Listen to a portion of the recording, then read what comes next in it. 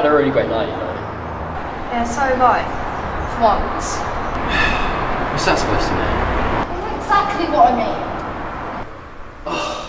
I told you I need to work the situation out with Tommy. Oh, really? Care to share your progress? So I really have to go over this again. You know I'll work my ass off for our future.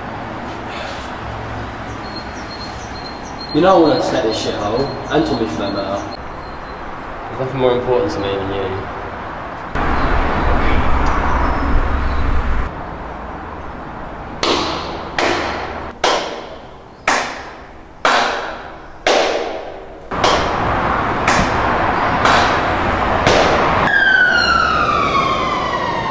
Well, well, well. You learn something new every day. Turns out my brother is a little bit of a Romeo. Uh, what are you doing here, Tommy? Oh, nothing much. Just hanging in my neighbourhood. You know, the place where I belong. The place where you belong. Where he belongs? Are you joking? Leave it there.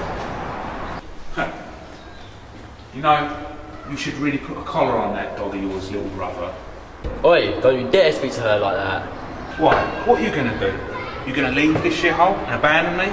Nah, you're not are you? Because you was going to do that anyway. It's finished, Tommy. I can't live this way anymore. I don't think you quite understand, little brother.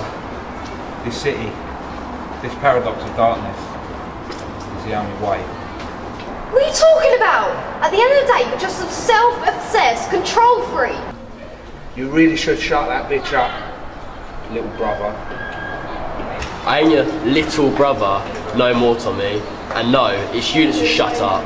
All my life I've listened to you and always done what you said. Now it's time to start for me doing what I want. You really don't want to be doing this with me, bro. And why is that, bro? Because when it comes down to it, you're just a little boy. You ain't nothing but a lonely freak. I'm embarrassed for you, my brother.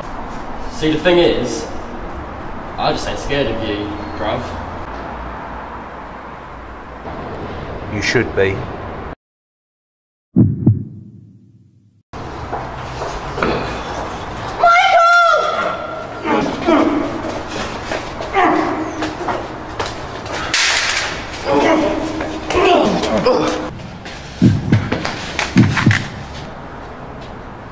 Goodbye. That's what you really want.